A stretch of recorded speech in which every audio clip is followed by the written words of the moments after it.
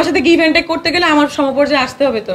সে সমপর্যায়ে তো নাই ওই যে দুই লাখ পাঁচ লাখ দিয়ে তো থাকা যাবে না। সরি টু সে দ্যাট আপনি কীভাবে জানলেন গিভ অ্যান্ড টেক চলে? হ্যাঁ, হাউ ইউ নো আপনি মিডিয়াতে কাজ করেন?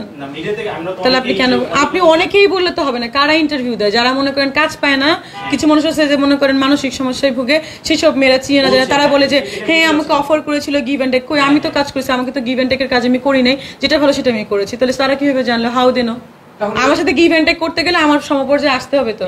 সে সমপর্যায়ে তো নাই ওই যে দুই লাখ পাঁচ লাখ দিয়ে তো থাকা যাবে না সরি টু সে দ্যাট কিন্তু আপনার কথা মতো প্রস্তাব দেওয়া প্রস্তাব দেওয়া হতে পারে প্রস্তাব তো সবাই দেখেন শুধু তুই মিডিয়া ওয়েট ওয়েট শুধু মিডিয়াতে দেওয়া হয় না আমি মেডিকেলে পড়তাম আমার স্যারও আমাকে অফার দিয়েছিল। আমি দে আমি আমি এগ্রি করি নাই বলে আজকে আমার যেটা আমার চার বছরে পাশ করার কথা পাঁচ বছরে সেটা আমার লাগছে হচ্ছে আট বছর পড়াশোনা শেষ করতে। আমাকেই সে প্রভাবপুর একটা ভিডিও দেখিয়েছিল। এক্সের ভিডিও দেখিয়েছিল, সেটা আমি হচ্ছে দেখেছিলাম, সে দেখার পরে আমার এবং আমার যে ফ্রেন্ডকে দেখিয়েছিল, সে সে মনে করেন ইয়ে করে নাই। সে আমার পরে পাশ করেছে, আমি ধরো তিন বছর আগে পাশ করেছি, সে এবার পাশ করেছে, আমার একটা ফ্রেন্ড রুজদা তো আপনি বলছেন যে মিডিয়াতে শুধু হয় মানে কি? মিডিয়ার বাইরে যে চাকরি করতে যায়, পাঁচ হাজার, দশ হাজার টাকা চাকরিতেও তো অফার দেয়। ফাইভ থাউজেন্ড টাকা চাকরিতেও তো অফার দেয় মেয়েদের, যে স্যারকে খুশি করতে হবে, সেটা কি হবে? আমি খুব স্পষ্টবাদী কথা বলি বলে আমার সমস্যা।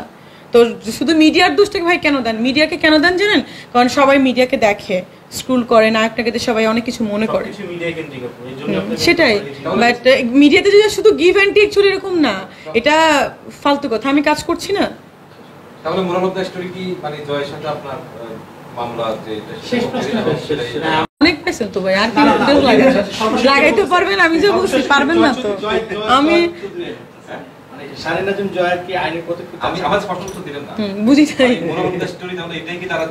মানে জয়ের সাথে আপনার কোর্টে দেখা হচ্ছে এটা কোনোভাবে শেষ করা না না না সেটা আমি বলি নাই।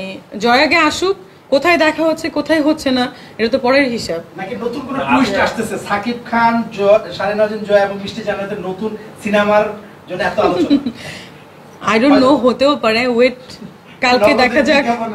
নগদের বিয়ে। না, সেটা কখন কি করেন? না সেটাই মিডিয়ার লোক কিন্তু আসলে ব্রিফ করা যায় না বোঝা যায় না। দেখা যাক লেটস সি আপনি তো সামনে পালে মারতে যাচ্ছেন সেই কি ভয় আসবে কিনা?